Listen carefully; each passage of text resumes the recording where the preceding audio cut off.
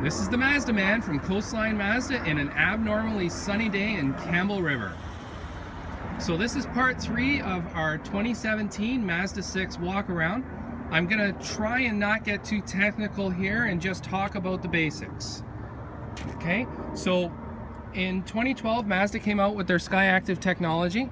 SkyActiv technology actually allows us to have the best in class fuel economy and a high horsepower rating both at the same time. Whereas our competitors will add things to the engine so that they'll go faster, have more horsepower. They'll add things to the engine so that they'll get better fuel economy.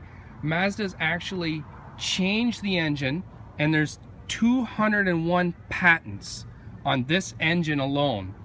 That's a phenomenal thing to uh, be able to say. Uh, some of the things that make Mazda different.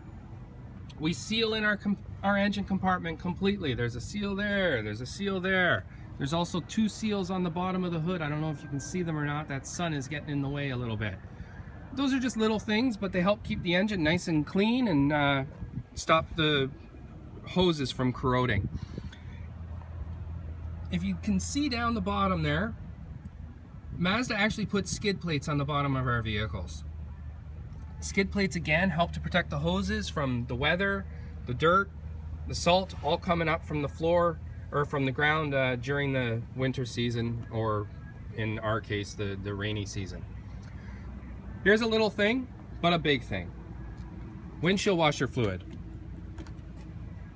Mazda always puts the windshield washer fluid on the right hand side of the vehicle.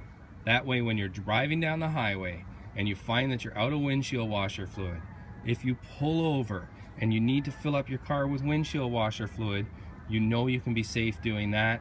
You don't have to constantly be checking over your shoulder for cars coming down the highway. Um, I think that pretty much concludes what I want to say.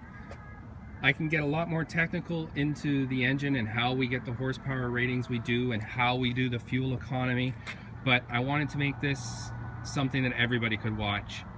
So if you need any more information, give me a call. My phone number is 250-895-9777 or just come on down to Coastline Mazda and give me a visit. My name is Jason. I'm the Mazda Man.